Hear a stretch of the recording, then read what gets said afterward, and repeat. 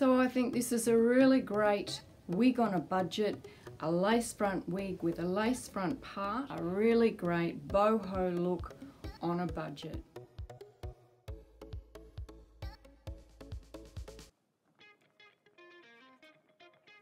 So I think the curl pattern is really beautiful and so far I don't think it's too shiny. I love the fact that it's rooted and I really love the beautiful way they've blended in the colours into the fibres of this budget wig. Try this beautiful blonde bombshell from Shein. It is around about $18 and even less with a coupon. Put on some cheap bling, these cost me $2 and this hairband cost me about $5.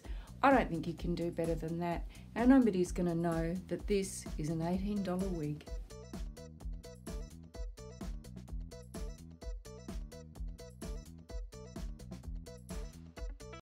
Go for one of these cheaper wigs and put some dry shampoo in to take away the shine, cut the lace off yourself, put a few roots in yourself and you've got something a lot more special than what came out of the budget priced bag.